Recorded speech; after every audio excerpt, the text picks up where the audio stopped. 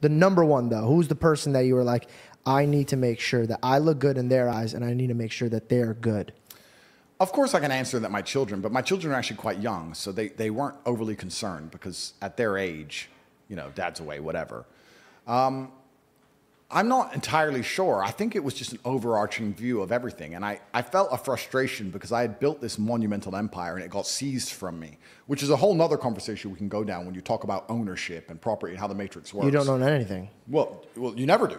I mean, you owned all this, but then they're like, That's right. So what do you own? You own the body you're in, perhaps, but then they force you to get a vaccine, so maybe you don't own that anymore. You own your soul. You can own your thoughts, but then that belongs to God. So then what do you even own now on this planet? Because I have people say to me all the time, oh, I'd love to buy a house. And I own my house. You don't own that house. You have to pay property taxes every month. And if you don't pay them, they'll take it off you. You're renting it from the government. D- piss the government off and you'll see how long you own your house. Because I tell you what's going to happen. They're going to turn up with a piece of paper and say it's ours. Done. Happened to me.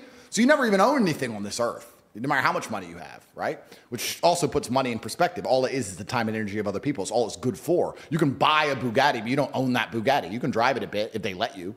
And piss the matrix off enough, they'll take that off you too.